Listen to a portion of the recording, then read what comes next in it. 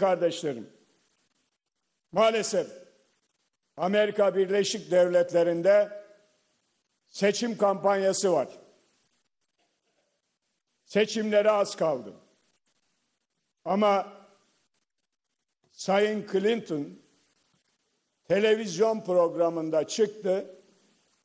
Açıkça Kürtleri seçilirse bölgedeki Kürtleri terör örgütlerini silah dağıtarak destekleyeceğini söyledi.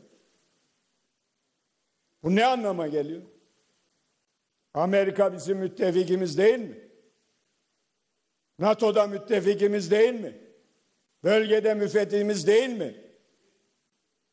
Silah, silahla desteklemek ne demek oluyor? Bu şu anlama geliyor. Zaten uzun süreden beri PKK'nın uzantısı PYD ve YPG'ye silah vererek sözde DAEŞ'la mücadele ediyor. Dünyanın neresinde görülmüş kardeşlerim? Bir terör örgütüyle başka terör örgütünü yenmek, bir terör örgütüyle başka terör örgütüyle mücadele etmek ne kadar ahlakidir, ne kadar etiktir, ne kadar doğrudur.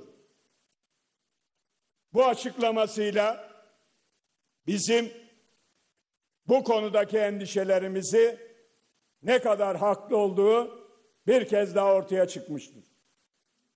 Ama herkes emin olsun ki biz ülkemizin birliğini, beraberliğini, toprak bütünlüğünü, vatandaşlarımızın can ve mal güvenliğini savunmak için hiç kimsenin icazetine de inayesine de ihtiyacımız yoktur.